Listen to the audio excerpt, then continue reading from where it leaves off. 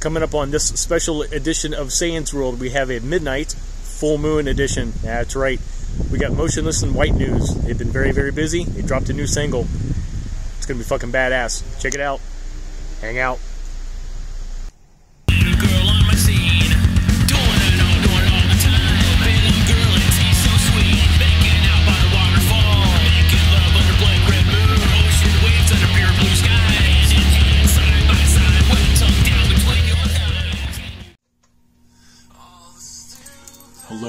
Everybody. Welcome back to a brand new episode of Sayne's World, a special midnight full moon edition. It's very special. Um, definitely feeling it. I, I, I wanted to do this right here and right now. For you guys, the hard rock and heavy metal fans of the world, I fucking love you guys. In case you know who the fuck I am, my name is Justin Sayne, uh, your host. Also, the guitar player from the band Cruella D'Vil. I'll post a link down here. You can uh, on uh, Dark and Naughty Web. Uh, you can check us out. We have a bunch of uh, stuff in the description of this video if you want to check us out. It's heavy, it's hard, it's very fast. Um, so yeah, I'd be greatly appreciated if you want to check it out. Uh, if this is your first time here, please do not let it be your last. Hit that subscribe button, hit that like button, hit that notification bell. That way you're notified anytime I upload any new videos for you guys, the hard rock and heavy metal fans of the world. I love you guys. I do this for you guys. Um, feel free to hit me up on Instagram. Uh, the band is on there. It's uh, cruella.dvil.music. I'm on there as well, uh, justinsayne.music. Um, yeah, check us out. We got some cool motherfucking shit on there.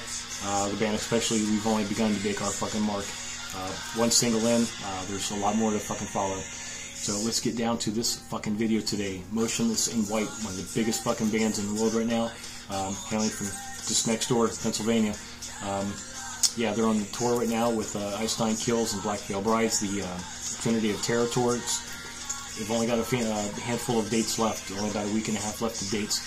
Um, be sure to check them out. So you can hear in the background, uh, they've released a new single, Masterpiece. It's uh, from the new album that comes out June 10th. It's called Scoring the End of the World. It's gonna be fucking badass. Fucking get it. It's gonna be beyond fucking rad. Uh, this song is killer. Um, a lot of people are saying it sounds like uh, Breaking Benjamin uh, for you know, My Chem. Whatever, man. It's it's fucking killer. So uh, yeah, let's check out some of this, shall we? Getting ready to break this down here.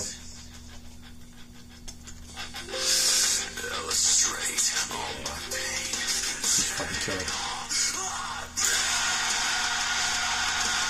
So this song is about uh, kind of about uh, guilt and regret from a lot of mistakes he's done in the past. Uh, you know, Chris, he's a fucking brilliant, brilliant lyricist.